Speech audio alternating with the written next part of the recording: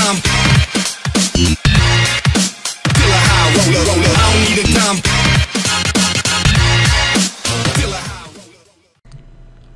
Ciao a tutti, sono Simone di Nerd Nothing e in questo video vi mostrerò come eh, utilizzare il Knet Launcher che è praticamente un launcher di Minecraft che permette di giocare a più versioni differenti di Minecraft senza dover per forza installare MultiMC che sarebbe quello che crea praticamente diverse cartelle di Minecraft con eh, versioni diverse.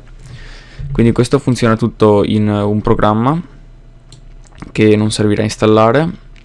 Vi metterò il link per il download di questo file in descrizione.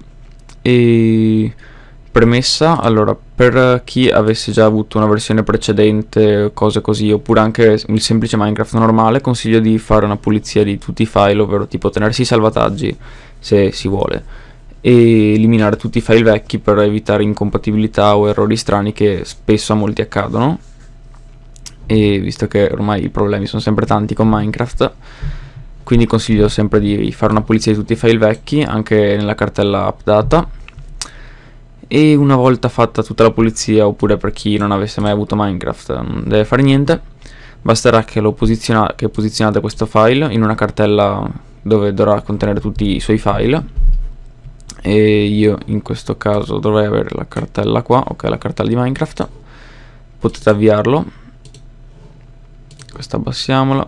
Qua vi dirà che c'è una nuova versione disponibile solo che anche se fatta update non fare niente quindi dategli semplicemente ok. Ed eccoci qua con un piccolo bug visivo vabbè.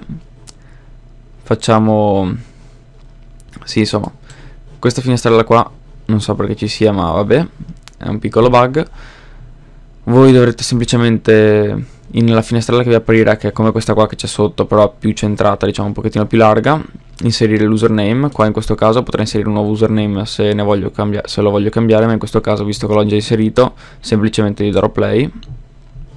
E ok è sparito il bug.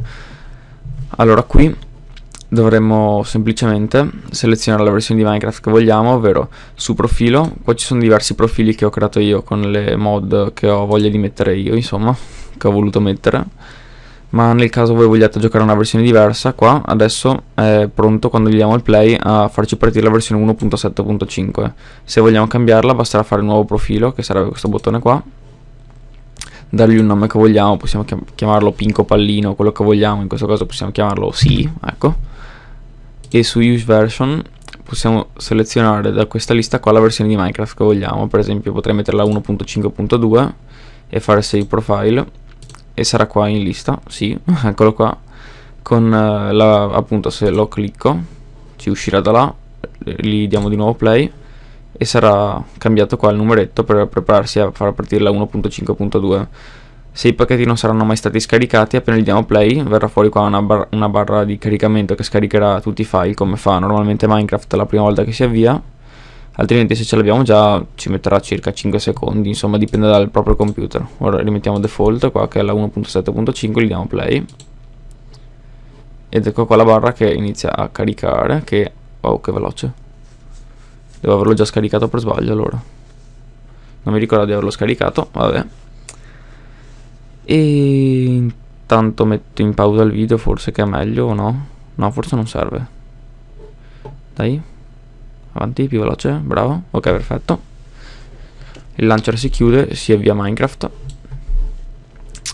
E basta andare su single player mamma mia quante mappe.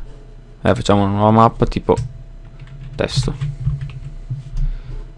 Mettiamo che creativa va e possiamo vedere che funziona tutto perfettamente appena si carica la mappa eccola qua ok sì si sta caricando sì, perfetto. Perciò se avete domande o altre curiosità varie, fatemi sapere nei commenti e divertitevi. Ciao a tutti.